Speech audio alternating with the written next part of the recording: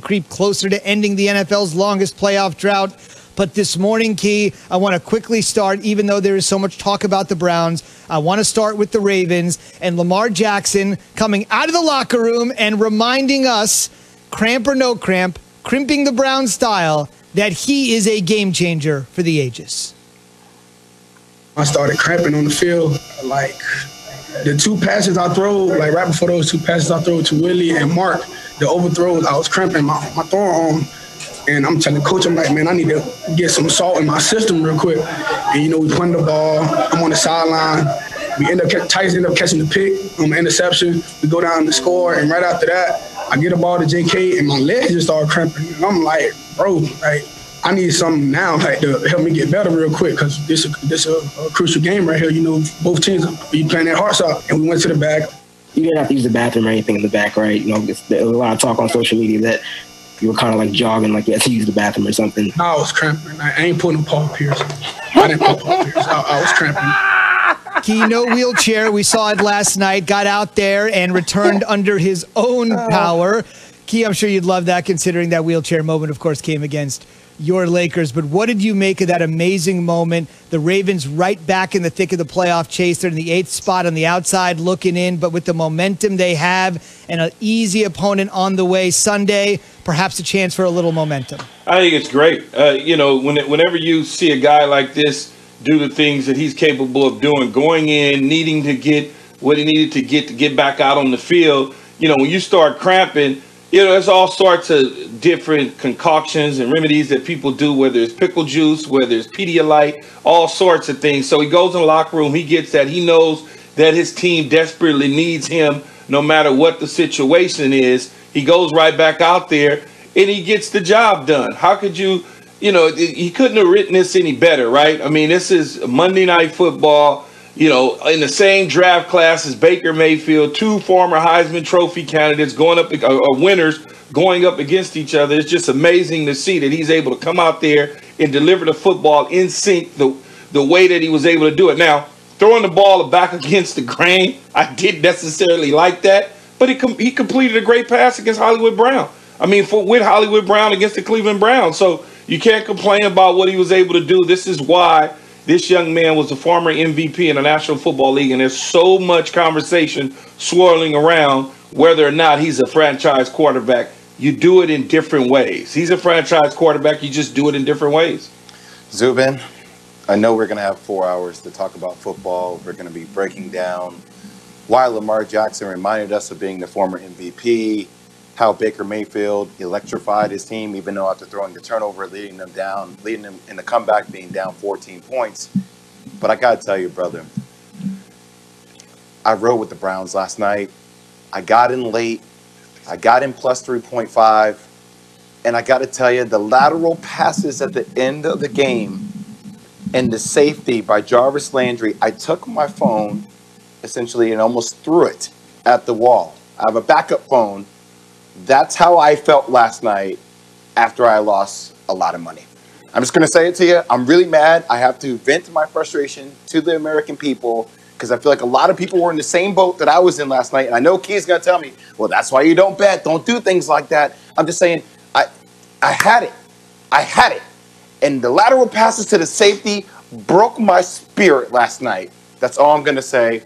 Let's get back to football. Sorry. I don't think they. I don't think they were playing the game based on your. I don't really care what you have to say right now, fi- Keyshawn. Financial really betting Joseph, things of that nature. Say, it doesn't help me right now.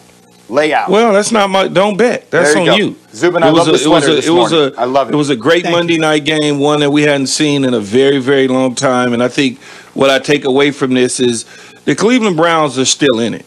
They they they should build on this. You know, I've been in situations when I was with the Tampa Bay Buccaneers, we lost to the Philadelphia Eagles. It felt like every single time that we took the field against the Eagles, we were losing. And eventually, we got over the hump in the playoffs and the, NFC Championship game. We went on and won the Super Bowl the next year. We went back to Philadelphia opening day and we kicked the you know what out of them. So I think Cleveland is headed in the right direction. It, you know, there's no such thing as moral victories. At least I don't believe in moral victories, but from a outsider looking in, there's a lot of positive signs to take away from this in that 47-42 thriller on a Monday night football game. Uh, it's it just you know I take a lot away from it from a positive standpoint. I really do. I'm with you, Kate. I was going to say something real quick back to football. Look, it was the game of the year. Last night was the game of the year. Prime time like that, to see it come back, to see Lamar Jackson pull a Willis Reed, essentially come back onto the field, uh, lead them back into this game to win this game down the stretch of a field goal, 55 yard field goal. Um, it speaks volumes about this game. Lamar Jackson saved the season for the Ravens. Saved the season. And it goes to show you how special of a talent he is having him on the field.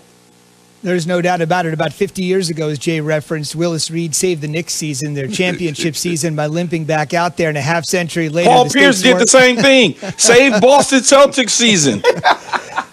You're right about that. Wheelchair aided or not. We're asking on the Dr. Pepper Twitter feed this morning which team would you fear more in a playoff game? I know the sample size is small and we're always reacting to what we just saw, but take a deep breath.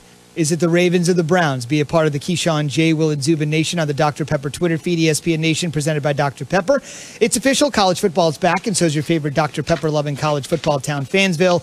Head to a store near you to treat your inner college football fan to a nice cold 20 ounce Dr. Pepper today. Quickly on the schedule front, I mentioned it's a little bit, it's not quite a bye week for the Ravens, but they do have a short week in Jacksonville, which I guess does qualify somewhat of a bye week. The Jags have lost 12 in a row, and with everything going on with the Ravens with COVID, it's a good opportunity to sort of maybe get things in order and reset against one of the NFL's worst teams. Meanwhile, the Browns, this is so 2020. The Cowboys have been flexed out of 2020's Sunday night game for the Browns, and the Browns will take on the Giants. Short week big stage for Cleveland again. We'll see if this time they can come through with America watching on a Sunday night as opposed to last night. Key, real quick, I'm not going to cast aspersions on either team's defense when one scored 47 and one scored 42, but I know you have some concerns about Cleveland's D.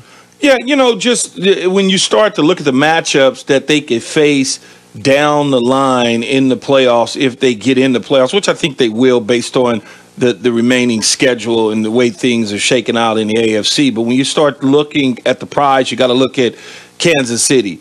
Can they hold up against an explosive offense like Kansas City? Can they punish again the Tennessee Titans and stop that power running game with Derrick Henry a second time around? Can they stop the Baltimore Ravens a potential third time around? So when you look at those sort of things, what happens in a uh, resurgence of Philip Rivers and the Indianapolis Colts when they come to town? I mean, it's just all of those sort of things you have to look at when you start talking about